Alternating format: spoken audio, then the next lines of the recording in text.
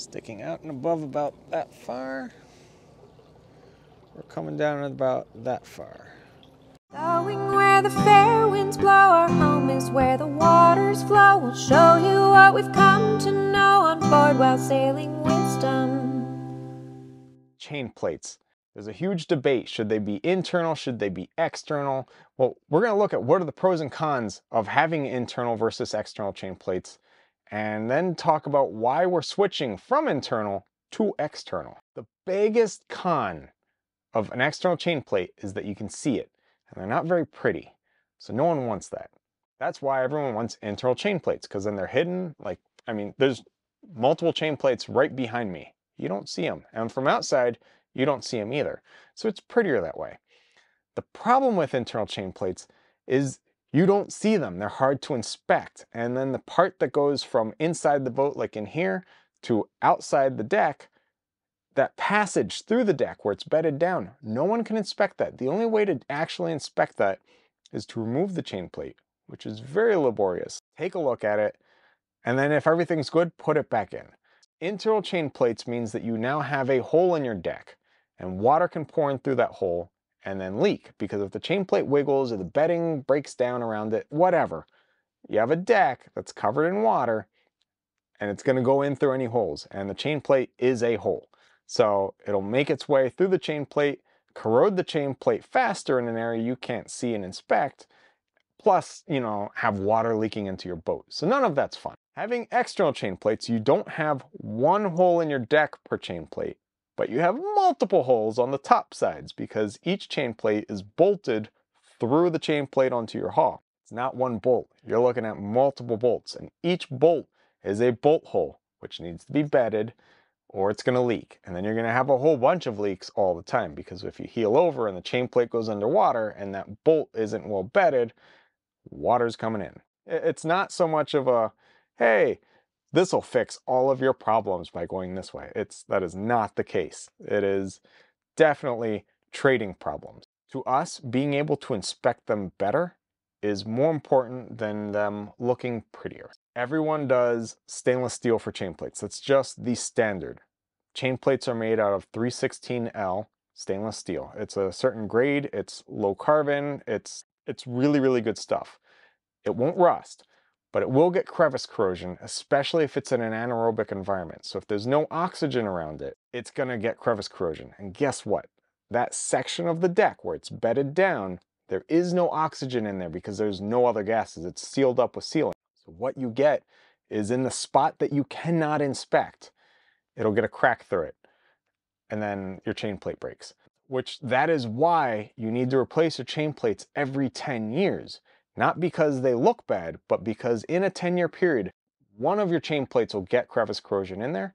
And if you leave it, it'll become the chain plate that broke. So that's why the rule of thumb, replace all your chain plates every 10 years. Some people are using titanium for chain plate. It's so much lighter than stainless steel. It's stronger. It's got all these amazing properties, but it can still get crevice corrosion in an anaerobic environment. Because of that, I'm not using titanium. I'm actually going the old way, and I'm going to be using bronze because bronze doesn't get crevice corrosion. Its big issue is that it's brown color. It's not shiny. It's not, you know, a beautiful mirror. When you look at it, you don't see yourself. When you look at it, you see a piece of bronze. So we're going to be making our chain plates external and bronze. Now we need to figure out how big do our chain plates need to be.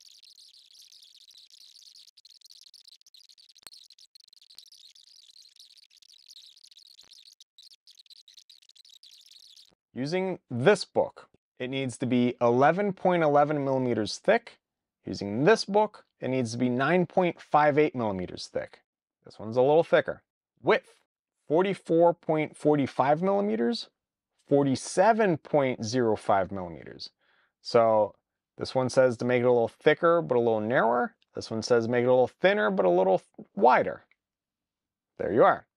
Now the metal that is above the eye, so what that would be is, say you look at this iPhone with these lenses here, it's pretty much how much is this thickness, so that way when you pull up on a hole made where that lens is, when it pulls up, that this metal above it is strong enough to support it so it doesn't just rip out and, and tear it out.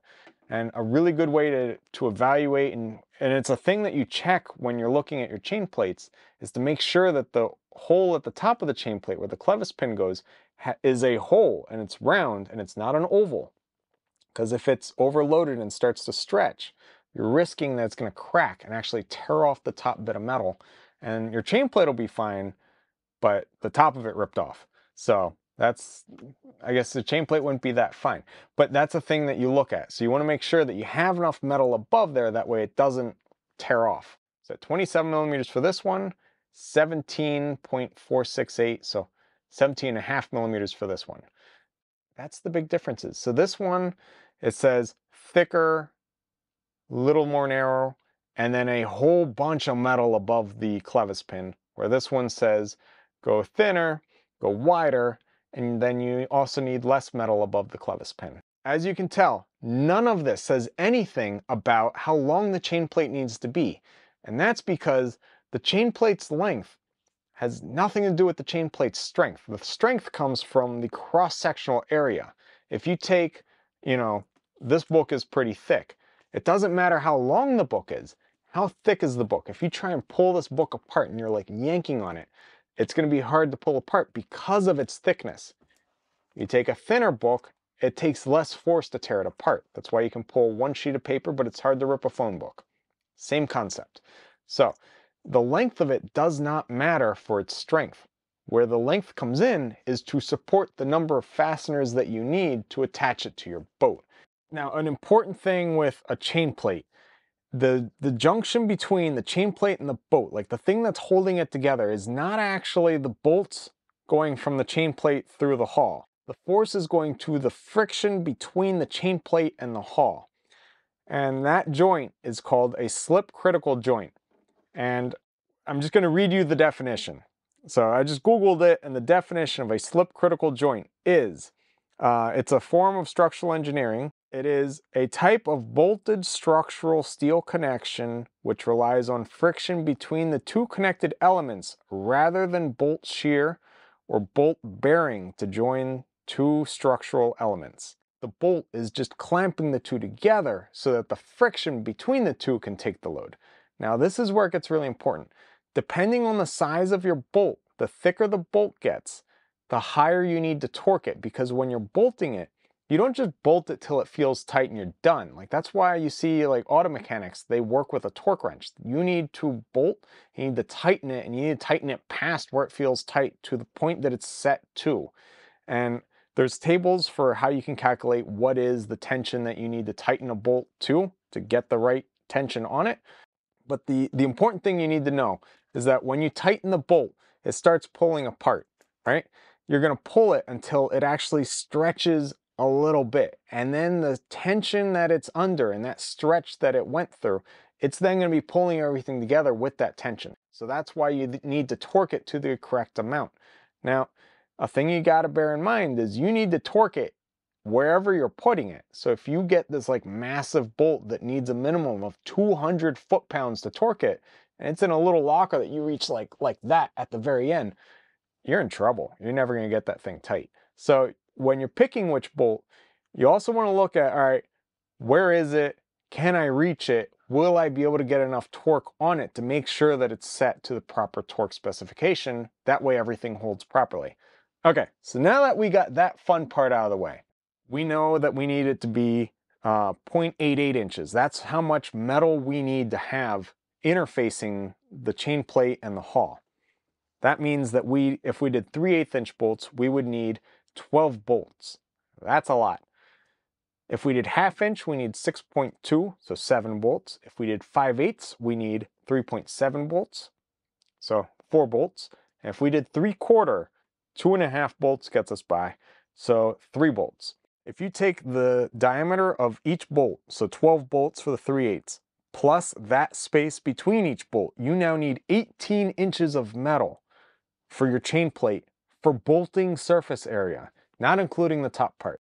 Half inch bolts, you're down to 11 inches. 5 8 inch bolt, you're at 7 inches.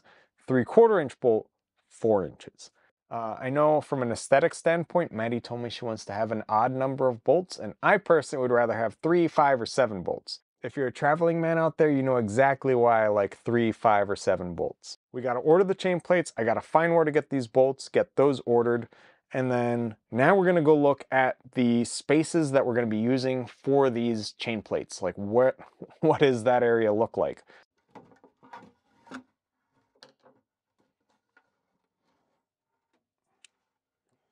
Okay, these this is our chain plate situation, and you can see it's pretty creative in here with some other plumbing.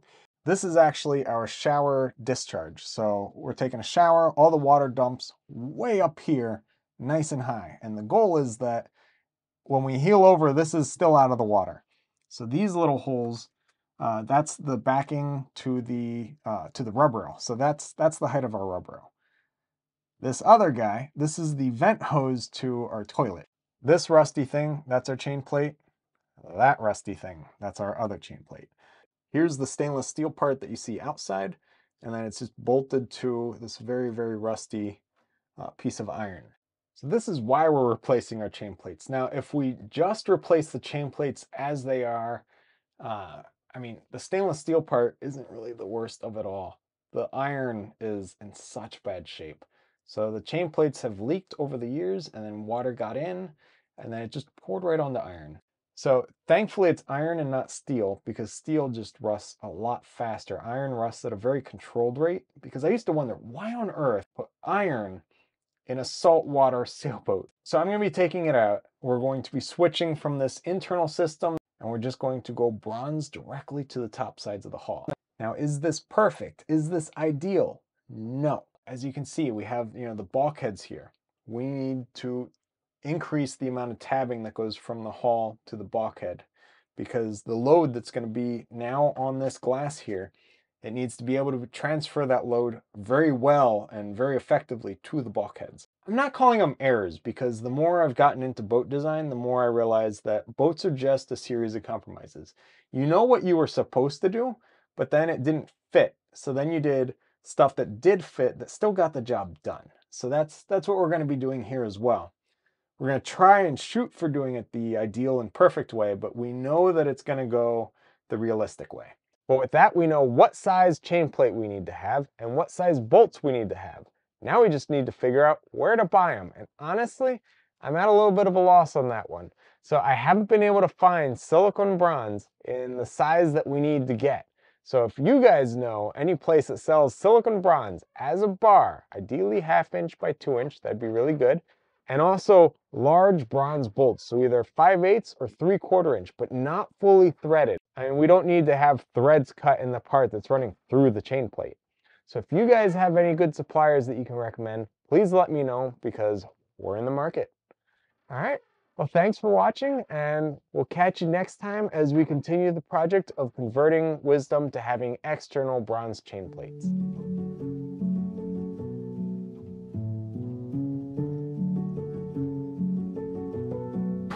Thanks for watching this episode of Sailing Wisdom. Don't forget to like the video, share it with your friends, and hit subscribe so you don't miss the next Rigging Doctor episode. And you're interested in even more Rigging Doctor awesomeness, consider becoming a patron to see all of our extras. Can't wait to see you next time as you join us out here on the high seas.